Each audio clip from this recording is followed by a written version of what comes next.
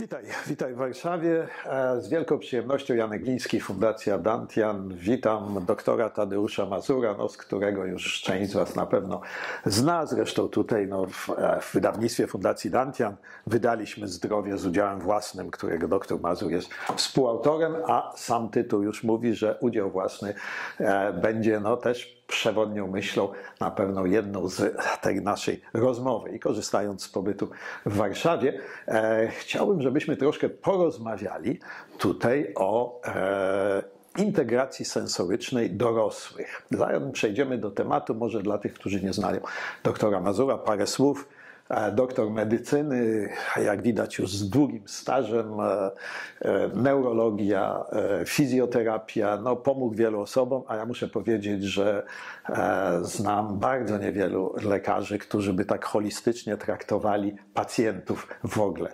I ruch stanowi rodzaj takiego, no hobby, można powiedzieć trochę, twojego, prawidłowy ruch i jednocześnie w jaki sposób poprzez prawidłowe ustawienie ciała można wyleczyć z wielu chorób, które przypisuje się czymś innemu zwykle. I pamiętam temat Twojej pracy doktorskiej, w której po prostu było rozróżnienie e, pomiędzy bólem klatki, czy w klatce tak, piersiowej, który mógł pochodzić od serca i często był tak leczony, a z kolei jego przyczyną było złe ustawienie kręgosłupa. Czy... Także w sumie i też również trzeba powiedzieć e, krótko o Twojej nagrodzie Staszica, Naczelnej Organizacji Technicznej, fotel, który miał skrót AMA, to był taki aktywizator mięśni antygrawitacyjnych, który ustawiał całą figurę. Więc tutaj mamy praktycznie renesansowego człowieka i bardzo się cieszę, że możemy sobie porozmawiać właśnie o temacie, który jest e, no tak zwykle kojarzony z dziećmi. Integracja sensoryczna. Jak ja słyszę i słyszałem o tym, mówię, dotyczy to głównie dzieci. Ale jak się zastanowić i to, co my robimy w Tai Chi, co robimy w Qigonggu, to jest to również integracja sensoryczna dorosłych. Ale może właśnie byś e, troszkę opisał właśnie, czym jest ta integracja sensoryczna. Zwykle myślimy tylko o pięciu, a nie o typowo siedmiu właśnie naszych możliwościach interakcji z otoczeniem i z samym sobą. Także ta integracja sensoryczna, jak ona się rozwija w ogóle od życia płodowego do, do, do końca, można powiedzieć. Jak, jak ty się patrzysz oczami lekarza na to? Zanim powiem, jak patrzę oczami lekarza, to powiem, y, że to y, dzięki inżynierom, fizykom, których ty z kolei reprezentujesz, wiemy coś nieco więcej o ruchu. Otóż prace nad robotami kroczącymi pokazały, żeby uzyskać płynny ruch, musimy jak gdyby odnieść się do całej sensoryczności. Przykładem jest słynny robot Ashimo firmy mhm. Hondy, który jako pierwszy uzyskał płynny ruch. I, I okazało się, że ten płynny ruch uzyskano y, nie dzięki temu, jak wcześniej, doskonałemu oprogramowaniu pierwotnemu, ale dzięki temu, że tego robota naszpikowano sensorami i każdy ruch y, wywoływał serię informacji płynących do komputera, który optymalizował, uśredniał przebieg tego ruchu. To jest ważne. Dopiero kiedy medycy to zobaczyli, zrozumieli, że przecież to samo dzieje się u człowieka. I początki ruchu wiemy, że następują już w y, okresie płodowym. Tam wiemy już także, że pojawiają się sensory, czyli zmysł czucia, błędnik, y, które już współ, zaczynają współdziałać z ruchem płodu. Ale ten ruch odbywa się w środowisku wodnym. On jest mhm. płynny, łatwy. Tak, nie ma siły ciążenia aż takiej. Dokładnie. I teraz poród powoduje, że nagle siła ciążenia wzrasta prawie dziesięciokrotnie. W tym momencie ten płód jest bezradny wobec siły ciążenia. I w, tu w tym momencie znowu pojawia się sensoryczność. Sensoryczność w postaci dotyku dłoni matki, która podpiera głowę, tułów i unosi to dziecko do góry. Czyli w tym momencie mamy sensoryczność i ruch. Oczywiście ten ruch nie jest ruchem celowym własnym dziecka, tylko jest ruchem, który i ten dotyk, który dostaje na dzień dobry, powiedzmy sobie, spotyka go dotyk i ruch.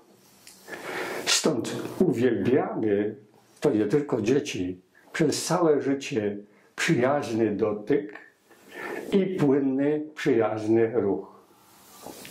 Oczywiście dorosłych nikt już nie chce wziąć na ręce, nikt nie chce ich nosić, niemniej ta potrzeba istnieje nadal. Do niej wrócimy. Ale wracam teraz do dziecka.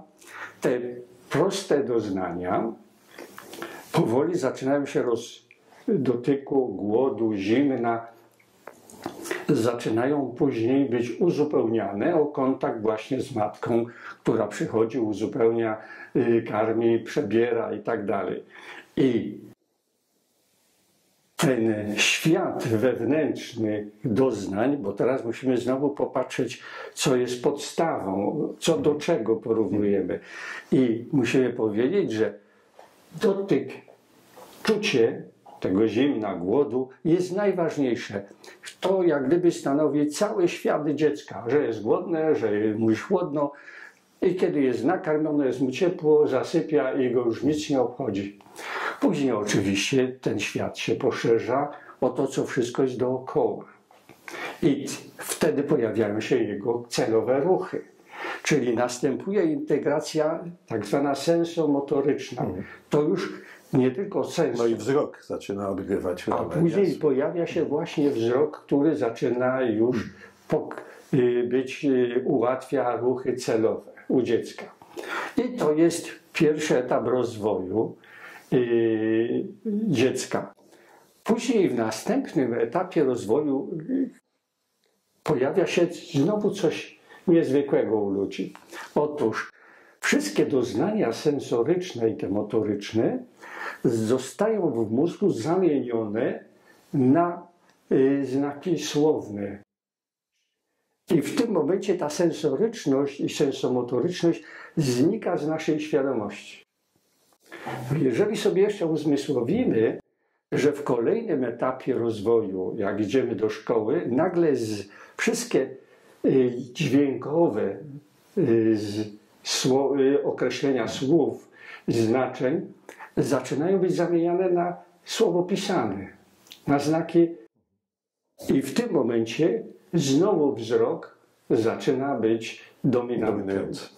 Świat obrazów, później y, laptopy, tele, y, telewizory i tak dalej, świat w naszej kulturze staje się dominujący. Tu pojawia się znowu kolejny problem. To jest piękne, ale nic nie ma w przyrodzie, że jedno jest dobre, drugie nie jest dobre.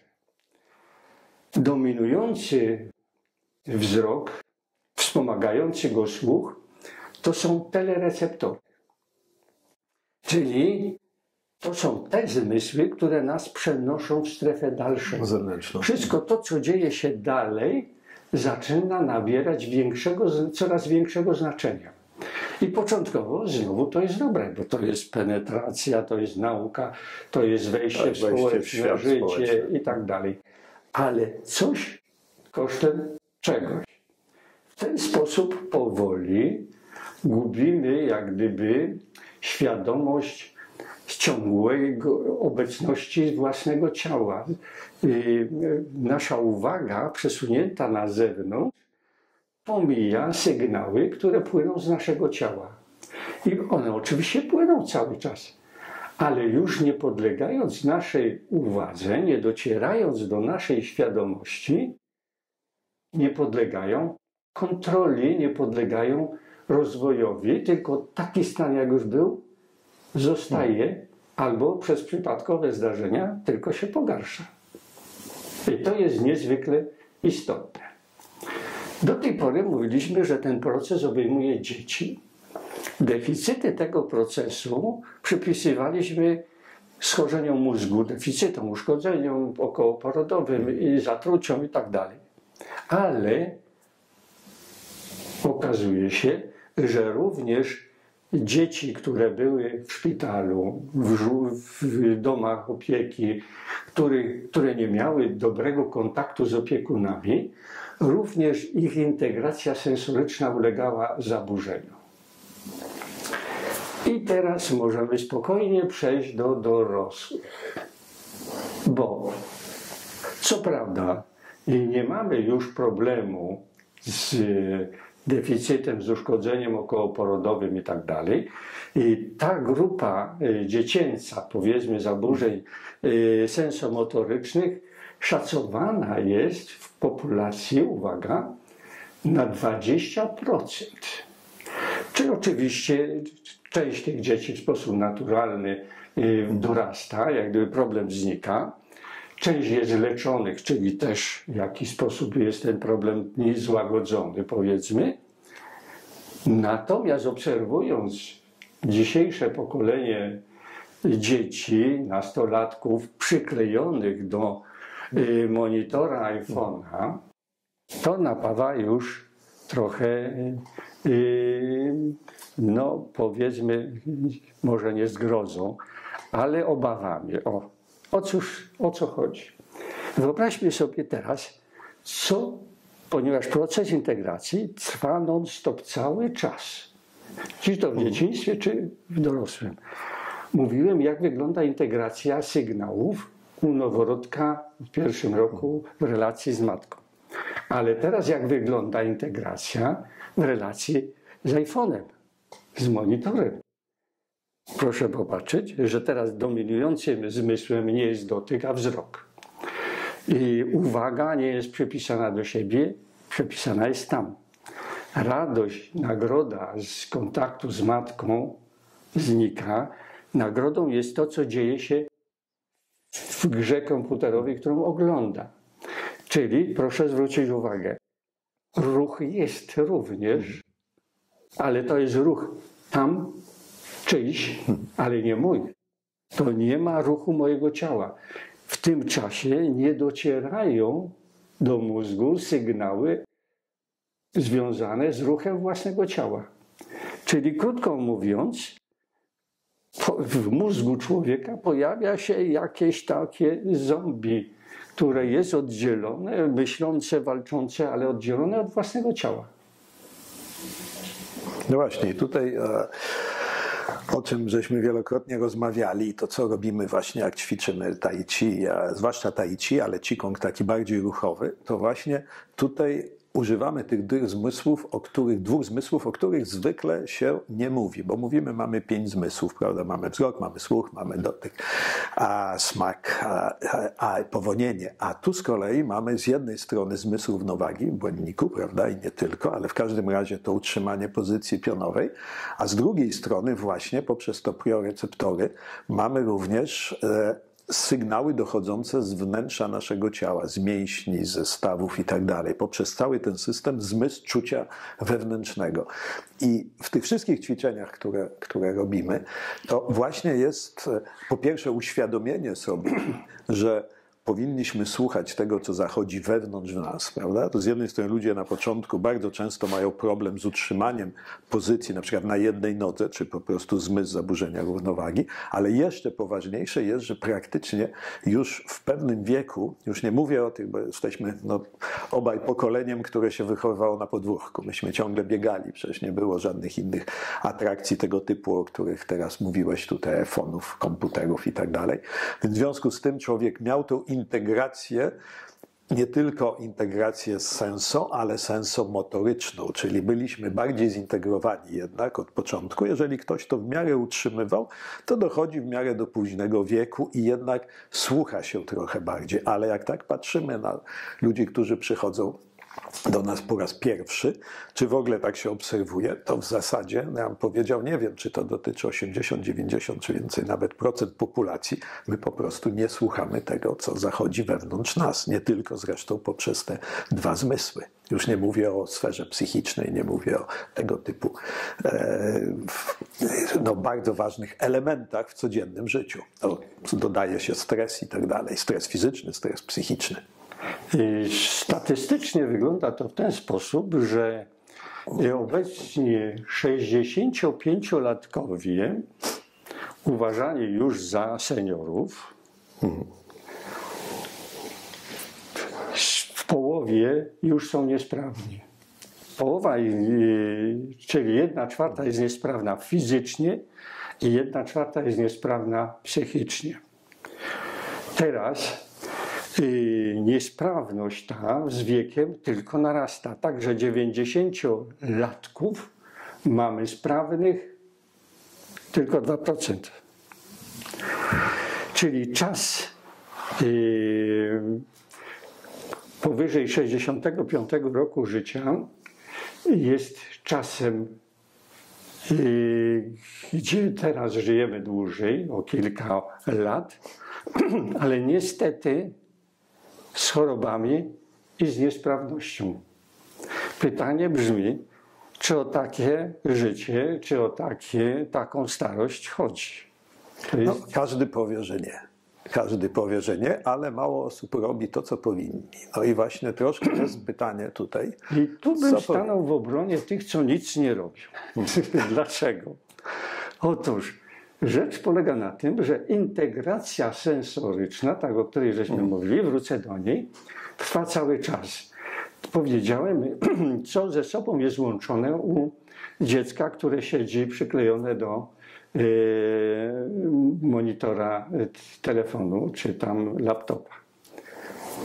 Dorośli ludzie, dwie trzecie dorosłej populacji w krajach rozwiniętych ma pracę siedzącą praca siedząca, to znaczy, że oni też są przyklejeni do komputera.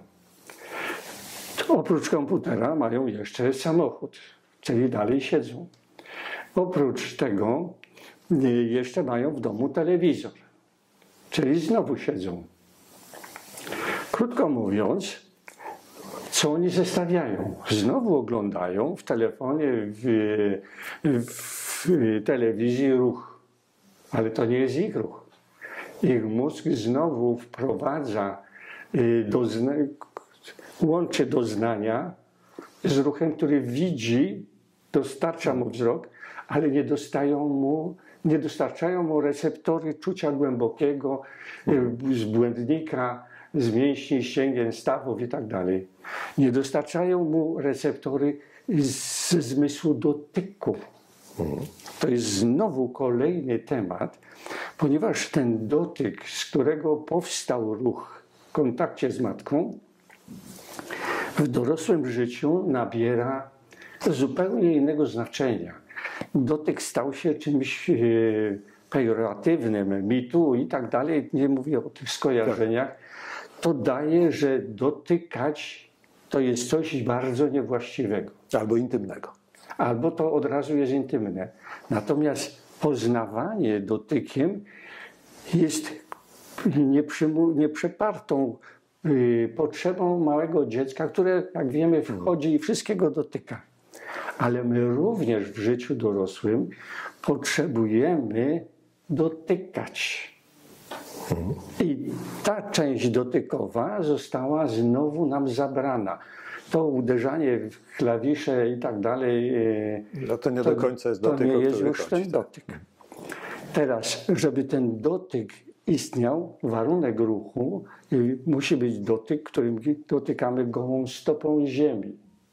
Dotykamy sami siebie, dotykamy drzewa, dotykamy czegoś, czy ćwicząc, w tym momencie wprowadzamy informacje bogate. Czyli trzeba powiedzieć, że ta sensoryczność to jest taki bukiet, który dostaje mózg no, ale przed chwilą, przepraszam ci przerwę, bo powiedziałeś przed chwilą, że jesteś, stoisz w obronie tych, którzy nic nie robią, a teraz zaczynasz mówić, trzeba więcej dotykać przynajmniej. Choć no.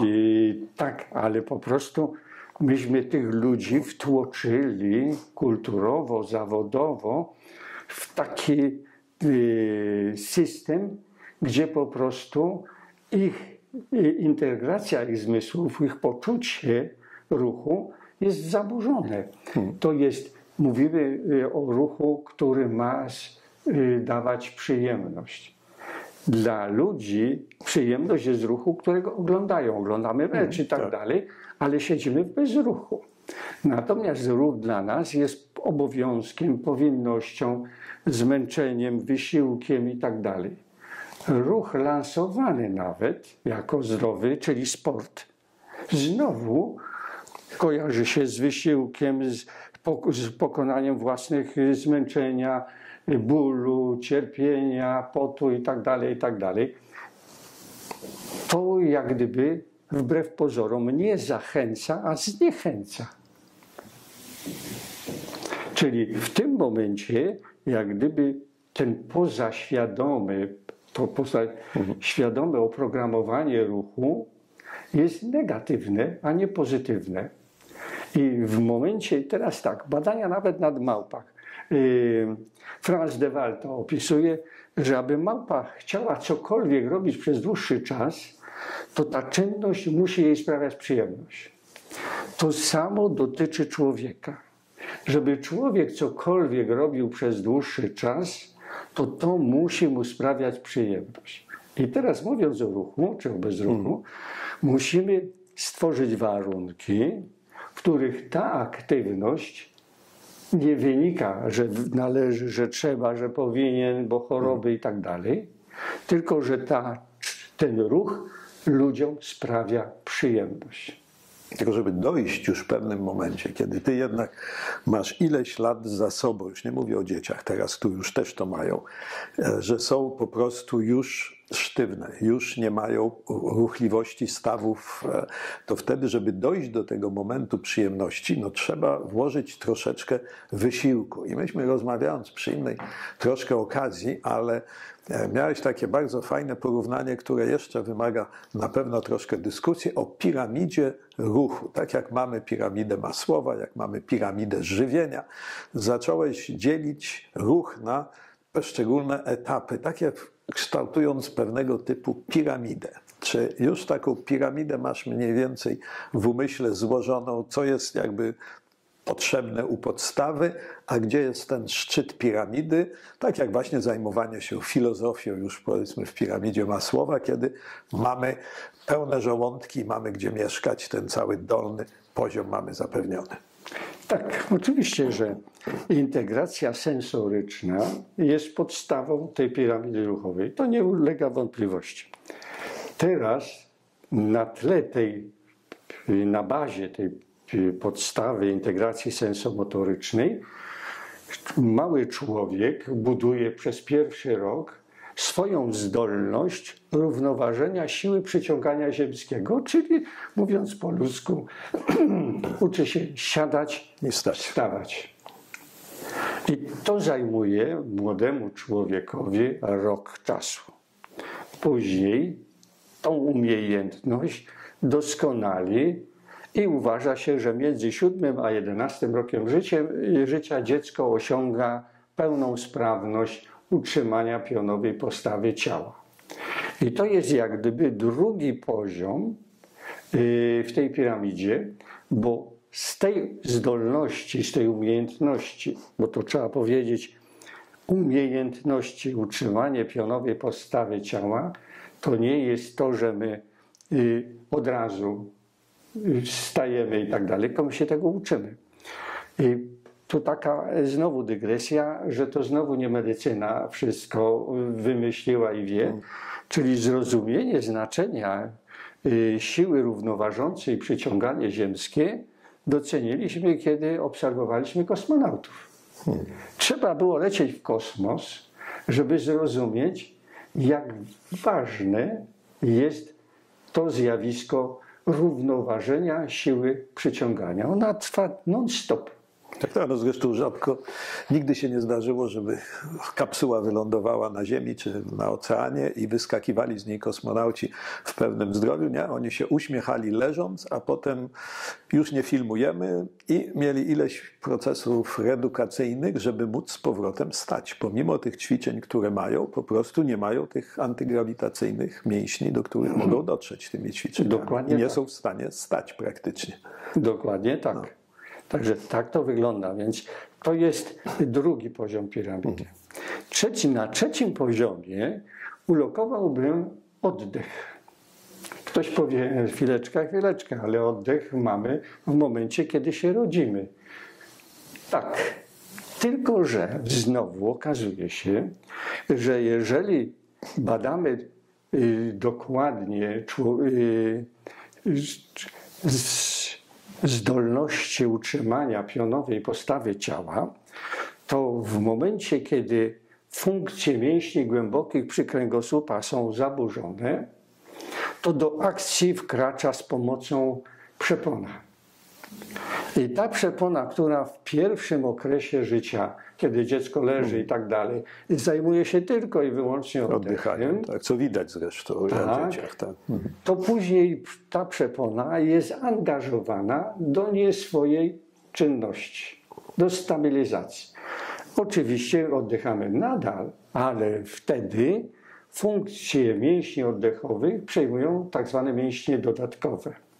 I oczywiście, jak wszyscy dodatkowi pracownicy, robią to już mniej wydajnie, mniej sprawnie i tak dalej. Czyli w tym momencie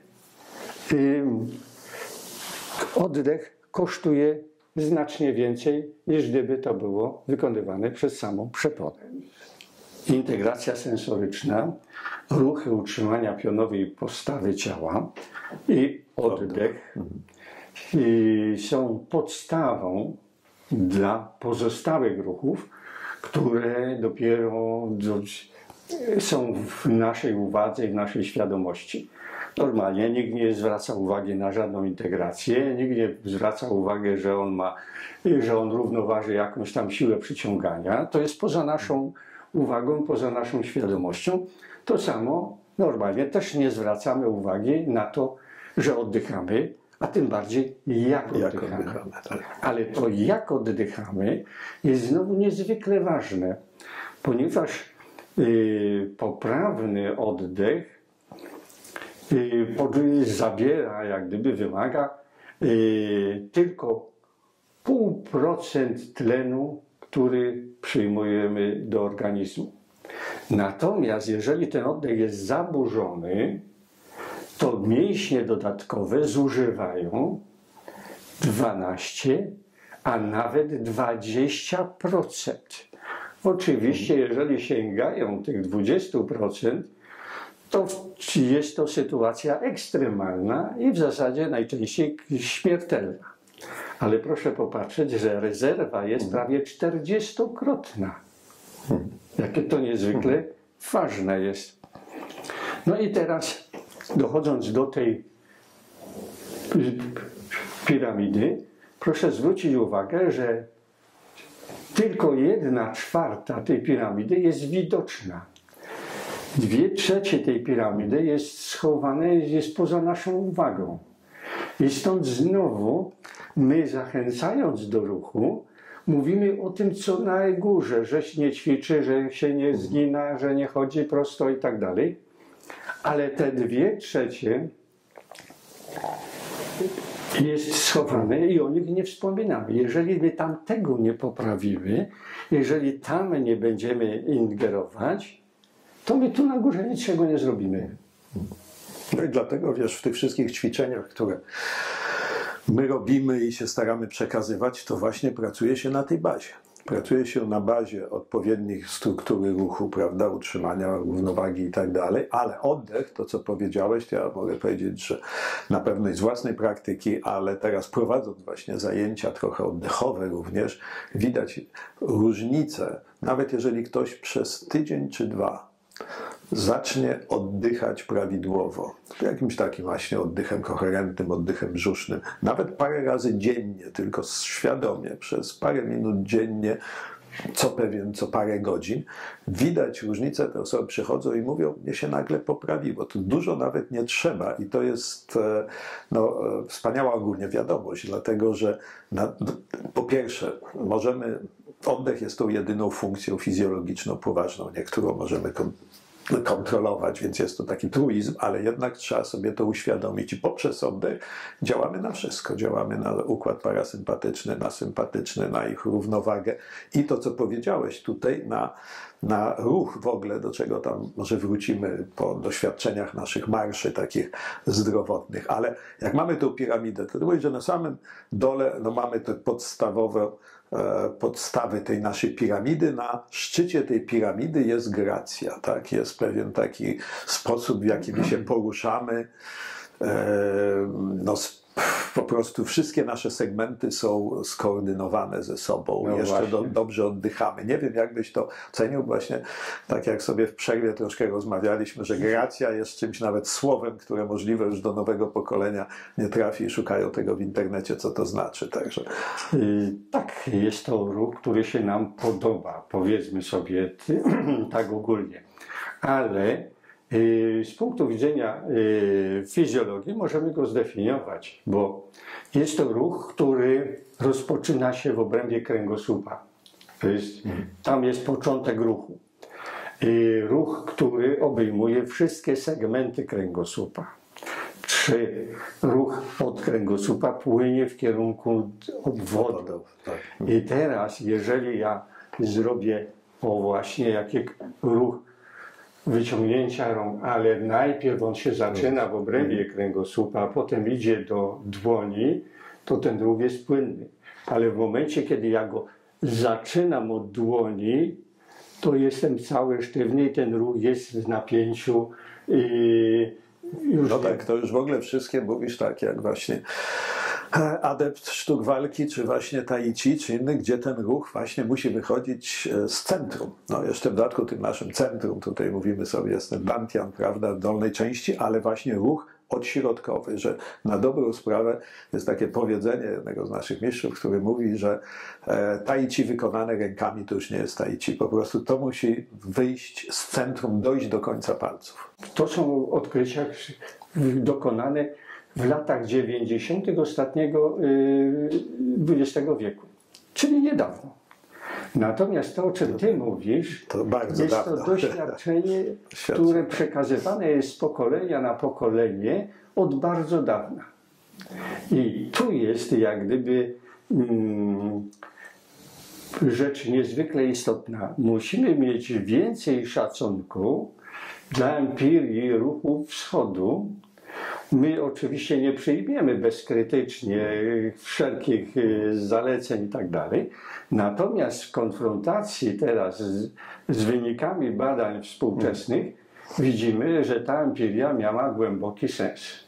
Zgadza się. To samo zresztą dotyczy oddechu, prawda? Jak się spojrzy na pranayamę i na właśnie pełno technik oddechowych, które są znane no, od tysięcy lat, już można powiedzieć, to dopiero później zaczęło się, analizując, prawda, skład e, gazów, rolę tlenku azotu, rolę dwutlenku węgla, nie tylko jako tego szkodliwego gazu i tak mhm. dalej, i tak dalej. Także tutaj ta nauka, no troszkę można powiedzieć, czasem nadgania, ale dobrze, że jest, że można to lepiej troszkę opisać i z drugiej strony do współczesnego człowieka. No, trafia bardziej coś naukowego. Chociaż, e, tak jak zacząłeś mówić tutaj o ruchu i o przyjemności, ja pamiętam takie właśnie w radio były reklamy, które zaczynały się od tego, teraz siedzicie, jest ta pandemia i tak dalej, nie ruszacie się, więc ja myślałem, że za chwilę będzie powiedziane, a to ruszajcie się więcej. A to było nie, tutaj mamy dla was taki świetny suplement, taką tabletkę, którą jak połkniecie, to e, zastąpicie sobie, prawda, cały ruch, w dodatku nie będziecie mieli żelaków innych i tak dalej dalej. Także tu e, to też jest w dodatku e, w tym momencie, dlatego właśnie staramy się e, na naszym kanale i również Fundacja Dantian właśnie promować to, co nazywamy takim zdrowym ruchem, który będzie również ruch dla ruchu, a nie będę zamiast ruchu połykał tabletki, już tak trochę trywializując. Ale wracając wiesz do tej piramidy teraz, jak o tym mówiłeś, to jest jeszcze taki jeden aspekt, może już nie, nie za bardzo do dłuższej dyskusji, ale w każdym razie, jak są takie różne piramidy, e, to czasami, zresztą samo słowo piramida potem, e, w fizyce często jest część jakby widoczna, ale potem jest ta piramida, która idzie w część niewidoczną. I e, jeżeli chodzi o te nasze sztuki, mówię tutaj głównie tai chi czy qigong, ale bardziej tutaj tai chi, to właśnie jest to sposób, właśnie tam jedną z książek, którą też wydaliśmy mistrza Li, było tai chi i tao, taoizm. I było, że jest to poznanie filozofii taoistycznej poprzez ciało. Takie jest to motto na samym początku. Że mało tego, że my poruszamy się sprawnie, że poruszamy się z gracją, ale poprzez właśnie taki świadomy ruch, my zaczynamy dotykać pewnych konceptów, już nie chcę nazywać ich za bardzo mistycznych i tak dalej, bo to może być źle odebrane, ale z drugiej strony jest to takie większe połączenie, tak jak taoizm, mówię, filozoficzny, połączenie z naturą, połączenie, większe odczucie, e, co się dzieje wokół nas. Także jest to sposób poprzez ruch, na inny sposób komunikacji i interakcji w ogóle ze wszechświatem, prawda? Już nie wchodząc w jakieś tam bardziej ezoteryczne tego aspekty, ale nie wiem, czy w Twojej piramidzie jeszcze byłby taki jeszcze jeden stopień, w którym by było to dojście właśnie poprzez ruch do czegoś więcej niż tylko do sprawnego ruchu i do tej gracji, tylko dla pewnego, tak jak się widzi, że ktoś jest, prawda, różnica między rzemieślnikiem a artystą, nie? Coś w tym stylu, nie, czy tancerzem, który się widzi, no jak on jest świetny techniczny, ale czegoś mu brakuje, muzyk, prawda, to samo, jest tam pewien ładunek taki, który jest trochę transcendentalny, trudno, trudno go określić słowami. Ja bym to z tej wysokości spuścił na dół, trochę niżej i popatrzył na, znowu na fizjologię. Otóż każdy sygnał, który dociera do mózgu, jest oceniany. Czyli okazuje się, że dociera bardzo dużo sygnałów do nas i większość z nich jest filtrowane. Czyli już tylko określone sygnały są przepuszczane Absolutnie, dalej do inaczej byśmy nie dali rady. I okazuje się, że y, mózg kontroluje y, sygnały napływające, czyli krótko mówiąc, cenzura nie występuje tylko w świecie zewnętrznym, ale również nasz mózg cenzuruje określone sygnały. To jest jedno. Dwa, Sygnały te są oceniane jako przyjazne lub nieprzyjazne, bliskie, dalsze.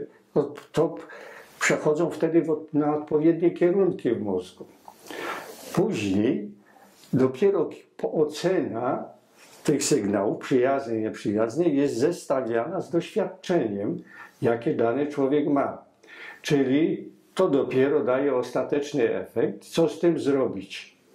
I na koniec pojawia się decyzja. Robię tak lub inaczej. Ale okazuje się, że na każdym z tych etapów w procesie wychowania dokonano manipulacji. I oczywiście dziecko wychowane typu uważaj, zostaw, nie dotykaj, co ty robisz i tak dalej, jest yy, wychowywany w ten sposób, że ono się boi wielu sygnałów, które do niego docierają. Ponadto sposób, w jaki my mówimy, nadaje sygnały przyjazne lub mniej przyjazne. Kiedyś robi, robiłem wspólnie z profesorem Wszołkiem z AGH w Krakowie eksperyment, jakie sygnały traktujemy w sposób naturalny za groźne, a jakie przyjazne. I okazało się, że sygnałami, które kwalifikuje podświadomie każdy mózg, nie tylko człowieka, ale i zwierząt, są sygnały, które mają charakterystykę wysokiej energii i mhm. krótki czas. I to jest na przykład czas łamanej gałęzi, wystrzał i na to reagują prawie wszystkie zwierzęta. To jest z kolei przyjazny sygnał, jest powolny, ma odwiednię sinusoidalną i co ważne, ma przerwę. Czyli jeżeli mówimy, ale mówimy szybko i tak dalej, to nadajemy od razu napięcie, niepokój. Natomiast kiedy mówimy z przerwą, mamy czas,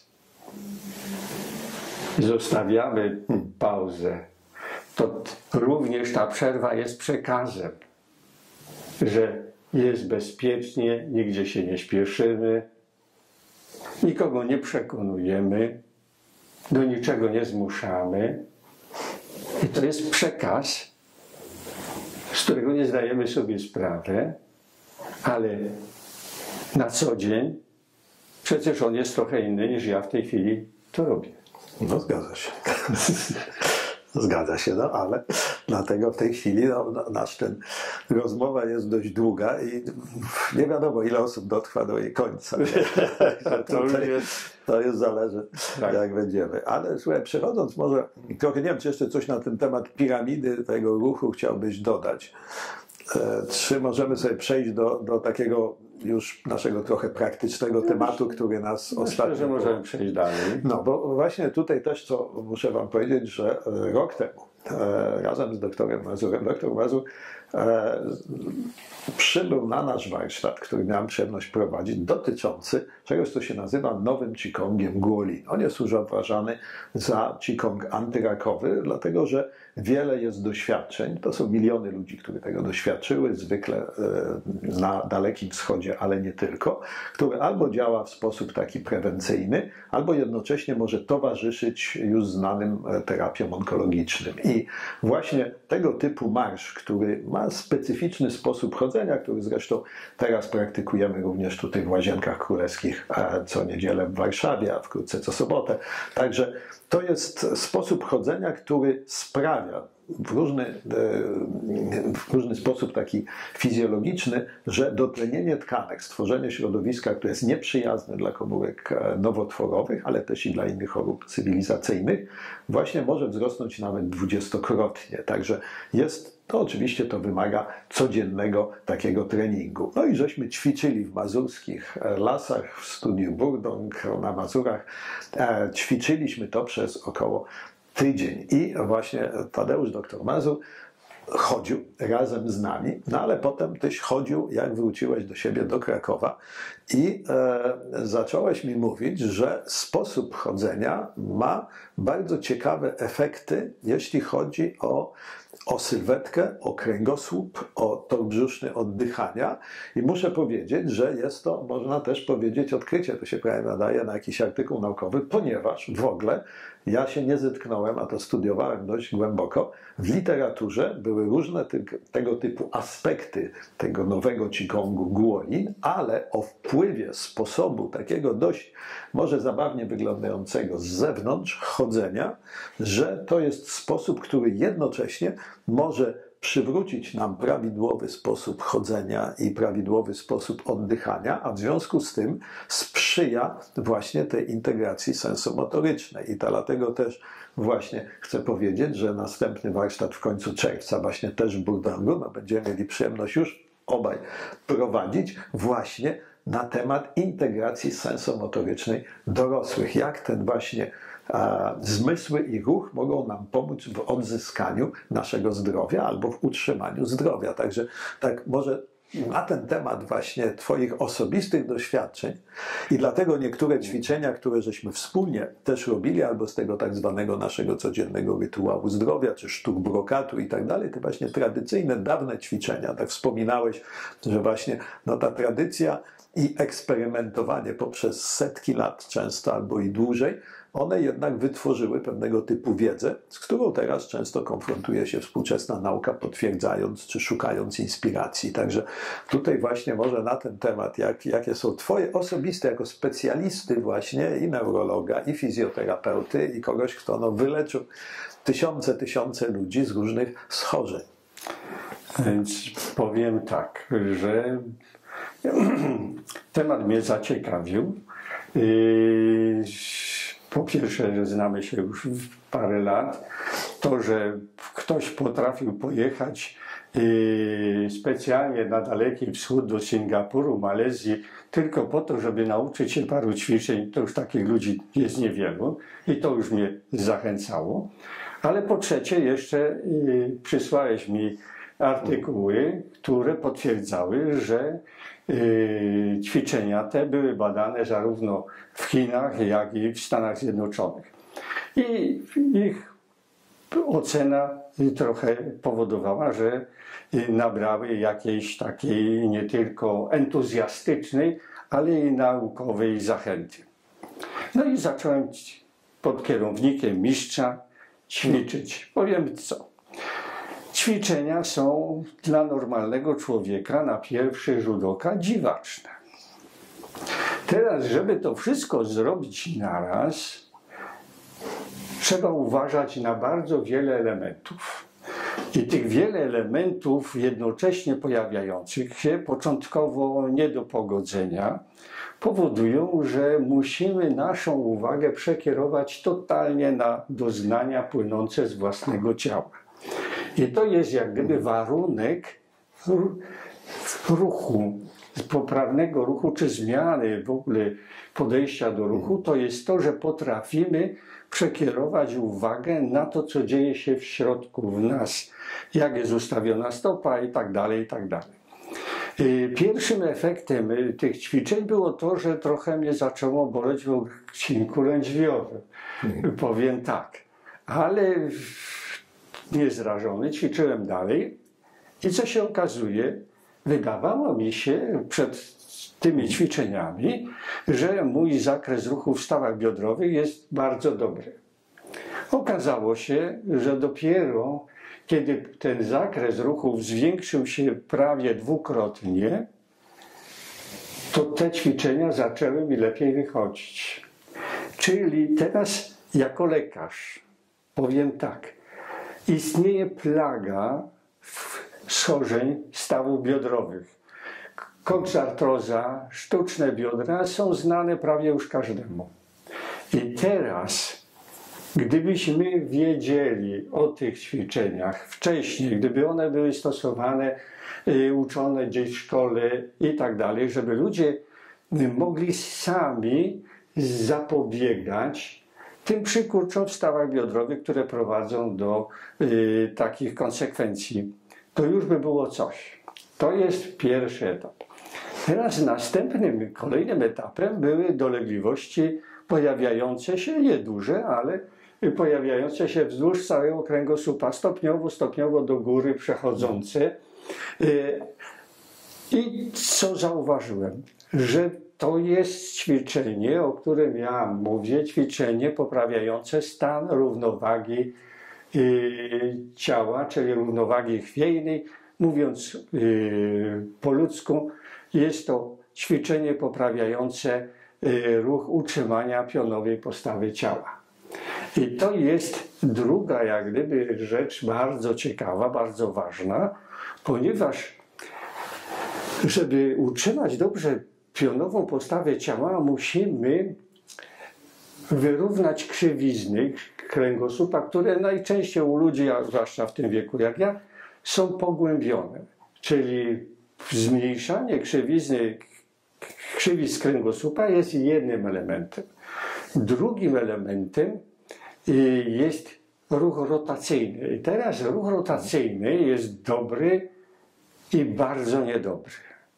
Ponieważ jeżeli są pogłębione krzywizny i wprowadzamy ruch rotacyjny, to wyzwalamy siły ścinające i robimy sobie krzywdę. Mówisz jak fizyk już teraz. Dokładnie. I stąd te wszystkie entuzjastyczne ćwiczenia przeróżne, hmm. które ludzie wykonują nagle, żeby poprawić stan zdrowia, kończą się bólami y, kręgosłupa, jeżeli tylko bólami, czy dyskopatią i tak dalej. Dlatego, że ruch rotacyjny wyzwolony różnymi ćwiczeniami, różne, wyzwala właśnie te siły ścinające i nam szkodzi. Tak, dlatego wiesz, często u nas właśnie mówimy, że ogon pod siebie, jak mamy takie sformułowanie, trochę żuchwy do tyłu, zmniejszenie tych krzywizn, żeby potem robić właśnie ruchy, tak jak mówisz, rotacyjne, czy ruchy w ogóle takie, no trochę ścinające też.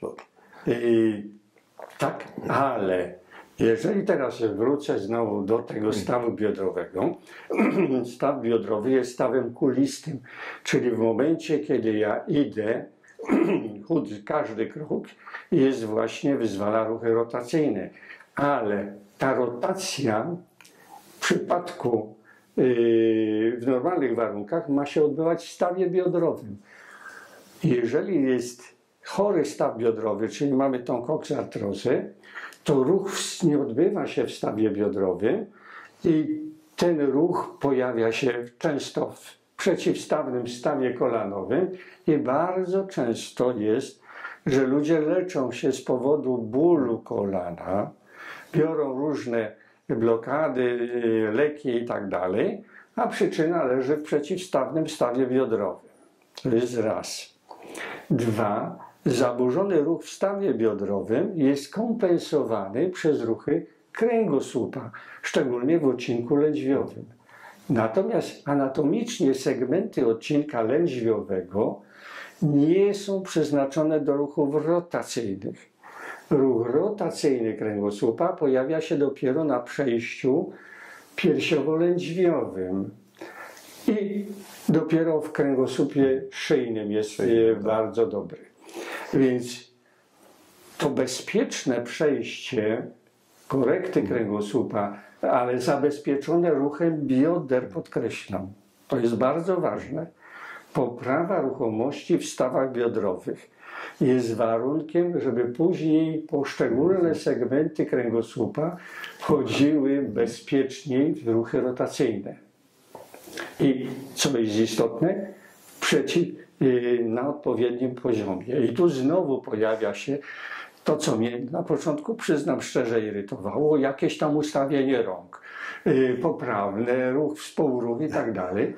I co się okazuje, że te ruchy rotacyjne, te współruchy rąk powodują, że korygujemy jeszcze lepiej postawę, a ruch rotacyjny pojawia się właśnie na przejściu piersiowo-lędźwiowym. I to jest ta to są te moje odkrycia związane. Słuchaj, no więc bardzo, bardzo ciekawe, bo ja muszę powiedzieć, właśnie nie traktowałem tego jako e, no, trochę panaceum na różnego typu problemy właśnie oddechowo-ruchowe, tylko bardziej właśnie jako nadotlenienie tkanek, na to, żeby no, trochę zwalczyć to środowisko, przejść z kwasowego na bardziej zasadowe i tak dalej, do czego właśnie ta ten nowy Qigong Guolin został stworzony. Ale to będziemy właśnie sobie jeszcze ćwiczyć, bo tak już wspomniałem, że e, z tej takiej naszej no, długoletniej, już można powiedzieć, dyskusji, ale też i współpracy, no bo przecież przyjeżdżałeś, jak jeszcze mieliśmy studio Dantian tutaj i E, mieliśmy okazję i rozmawiać, i ćwiczyć wspólnie, także będziemy właśnie ten warsztat po raz pierwszy w Burdongu prowadzili wspólnie, łącząc, jeszcze nie mamy dokładnego programu, ale go sobie wypracujemy, jak tu połączyć te ćwiczenia, nazwijmy to stare, jednocześnie w oparciu o tą wiedzę, którą masz głęboko, właśnie wiedzę medyczną, tak żeby właśnie te ćwiczenia też robić prawidłowo, bo staramy się zwracać uwagę, na pewno nie mam takiej wiedzy, żeby móc właśnie w taki sposób, jak teraz wytłumaczyłeś o tym ruchu, co intuicyjnie, można powiedzieć, może widziałem, czułem, ale nie potrafiłem tego nawet zwerbalizować i nawet niespecjalnie o tym myślałem. Także sądzę, że z tej naszej współpracy no, wyjdzie więcej niż tylko jeden warsztat i bardzo sobie dużo po tym również obiecujemy. No bo rzecz jasna, właśnie ruch, prawidłowy ruch, prawidłowy oddech, no jest to podstawa oczywiście do wszelkich tych sztuk, które promujemy, tai chi, qigong i inne, a jednocześnie bez właśnie tych prawidłowych ruchów, no w każdym wieku zresztą, e, no nie da się żyć e, przyjemnie i szczęśliwie, prawda? Także tak można powiedzieć, a chodzi o to, żeby mieć tą przyjemność właśnie z ruchu i oczywiście... Nawet mając 90 lat. Nawet mając 90 lat, także słuchaj, tak. no idziemy w tą stronę już tam tak. no, dość nie tak daleko do tej 90. Także bardzo serdecznie Ci dziękuję za rozmowę, za przyjazd do Warszawy i tutaj cóż, e, zapraszam zapraszam wszystkich do, tak, nie, no tutaj wielką zawsze przyjemnością i na pewno, tak jak mówię, z tej współpracy będą się rodziły różne rzeczy, także warsztaty, zobaczymy, co będzie dalej, ale dziękuję Ci jeszcze raz serdecznie. No i cóż, zapraszam wszystkich do, e, po wysłuchaniu jednak do zastanowienia się i do poszukania wokół siebie, gdzie możecie jednak przejść do tej gracji ruchu, e, do której ciągle też aspiruję notabene. Także dziękuję Ci bardzo.